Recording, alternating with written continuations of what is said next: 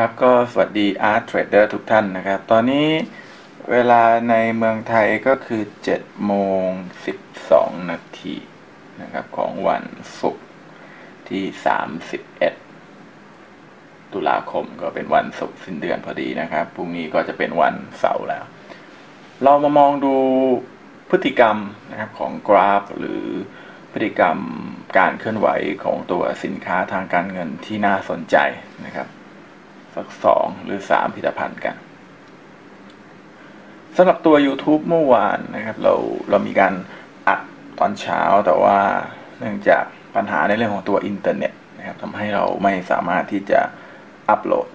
ได้ทันนะครับ ต้องมาอัปโหลดกันในช่วงเย็นนะครับข้อมูลอาจจะล่าช้าหรือ delay ไปบ้าง แต่เนื่องจากตลาดยังไม่มีการเปลี่ยนแปลงนะครับทำให้นักลงทุนทุกท่านยังสามารถใช้ข้อมูล ของ YouTube ของวันที่ 31 ตุลาคม หรือวันพฤหัสบดีเมื่อวานนะครับ ได้อย่างยังใช้งานได้อยู่ เมื่อวานเรามีการเกริ่นนะครับ หลายประเด็นที่น่าสนใจด้วยกันนะครับ อันดับแรกเลยนะครับก็เรามาดูภาพรวมหรือสรุปของตัวราคาน้ำมันปาล์มนะครับ หรือ Crude Palm Oil Futures กันว่า มีการเคลื่อนไหวอย่างไรบ้าง ต้องอย่าลืมนะครับว่าตอนแรกเนี่ยที่ในระบบของสายอาร์หรือ R Trader เนี่ยเราวิเคราะห์เมื่อวันพฤหัสที่ 16 ตุลาคมว่าราคาหรือว่าแนวโน้มของตัวราคา Palm Oil เนี่ย เราจะวางแผนซื้อแถวแถว2,110 นะครับ 2,110 นะครับ แล้วก็จากนั้นเราก็มีการวิเคราะห์ต่อไปว่า เมื่อถ้าเกิดราคานั้นสามารถซื้อได้ หรือมีการ rebound ในตำแหน่งนั้นนะครับ เราจะ setup target ไว้ที่ 2,295 นั่นก็คือ เราจะได้ Profit นะครับประมาณ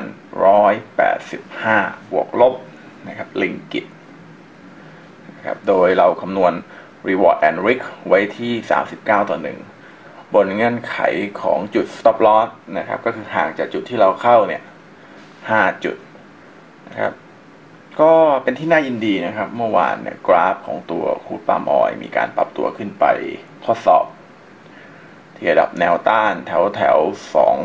2,300 ก็คือสูงกว่าที่เราคาดการไว้ประมาณ 5 จุดหรือ 5 ริงกิตนะครับแล้วก็เป็นสิ่งที่น่ายินดีว่าตัวแนวต้านหรือเป้าหมายที่เราวัด หรือเราประเมินไว้นะครับ มีการตอบสนองต่อเป้าหมาย นะครับก็คือไม่ใช่ว่ากราฟเนี่ยมีการปรับตัวขึ้นไปเลย แต่กราฟมีการ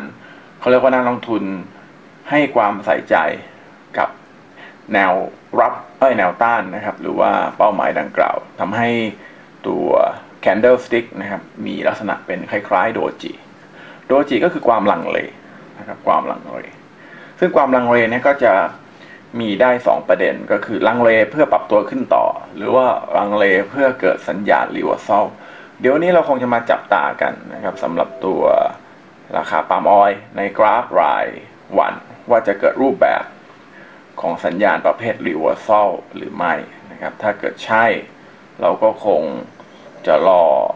ดูว่าตำแหน่ง reversal นั้นนะมีความแข็งแรง หรือความอ่อนแอมากน้อยเพียงใดนะครับ ถ้าเกิดเป็นการปรับตัวลงที่แข็งแรง เราอาจจะต้องถอยนะครับ ไปรับในจุดที่ต่ำกว่า 2,100 หรือจุดที่เราวางแผนที่จะเข้าก่อนหน้านั้น แต่ถ้าเป็นการ reversal ที่ไม่มีนัยสำคัญหรืออ่อนแอนะครับเราอาจจะประเมินโดยการใช้ฟิโบนัชชีหรือหลักการของ Wash and Rinse เข้ามาเกี่ยวข้อง นั่นคือกราฟ Crude Palm Oil นะครับที่เรามีการโพสต์ในตัว Facebook ไปนะครับต่อเนื่องนะครับสำหรับตัวกราฟเซตในราย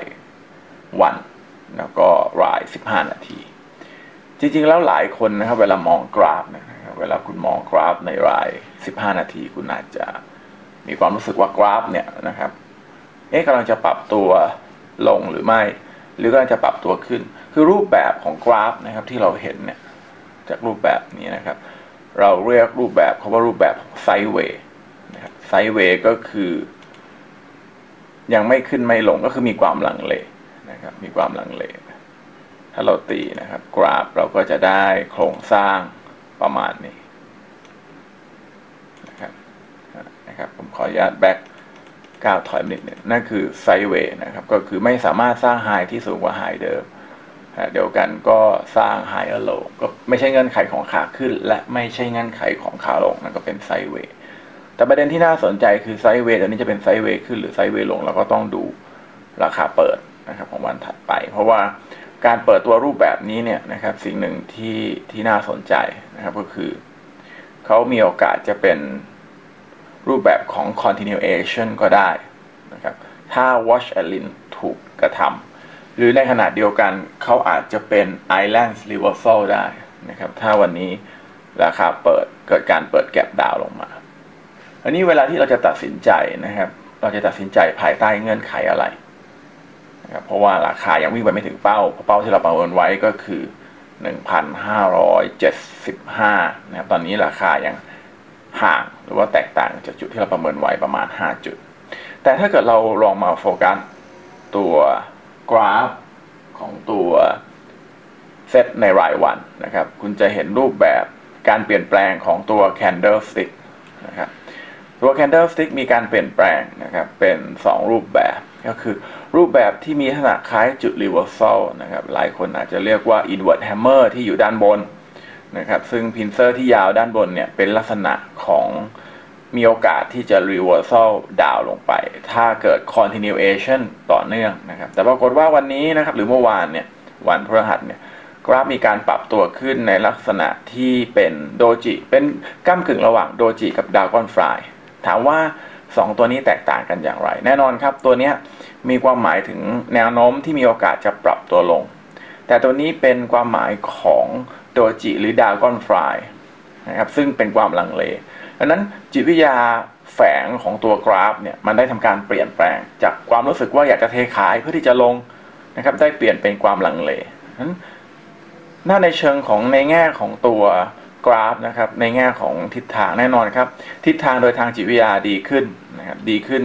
จากที่อยากจะลงเป็นลังเลนะครับ ก็คือตอนแรกมีทิศทาง ตอนหลังเนี่ยมีความลังเลนะครับทำให้ตัวกราฟเนี่ยวันนี้เราต้องคงเฝ้าจับตาดูนะครับว่าจะเป็นอย่างไร แต่เนื่องจากกราฟมันมีการปิดนะครับมีการปิดในช่วงเย็นทำให้ช่วงกลางคืนเนี่ยมันอาจจะเกิดเงื่อนไขใดๆก็ได้นะครับแต่อย่าลืมนะครับ ถ้าคุณไม่สามารถใช้องค์ความรู้ของตัว candlestick มามาพิพิเคราะห์ได้นะครับ ผมอยากจะให้คุณใช้องค์ความรู้ที่ได้จากตัวถอดรหัสลับดาวท theory 3 นั่นก็คือรูปแบบของสัญญาณชะลอตัวประเภท Y ซึ่งถ้าเกิดคุณพิจารณาจากกราฟนะครับเด็กมุมกว้างของตัวกราฟเซตเนี่ยคุณจะเห็นว่ากราฟเซตในรายวันเนี่ยไม่สามารถที่จะสร้างเงื่อนไขของ สัญญาณชะลอตัวฝั่งขาขึ้นได้ นั้นวันนี้แนวโน้มที่เหมาะสมนะครับ น่าจะเป็นการย่อและเพื่อเพื่อซื้อมากกว่า หรือกราฟอาจจะ slightly ขึ้นไปเพื่อทดสอบเป้าหมายเราก็ได้นะครับ ยังไงเราติดตามดูนะครับว่าวันนี้หลังจากตลาดปิดในช่วงวันศุกร์จะเกิดอะไรขึ้นบ้าง ขอบคุณมากครับ สวัสดีครับ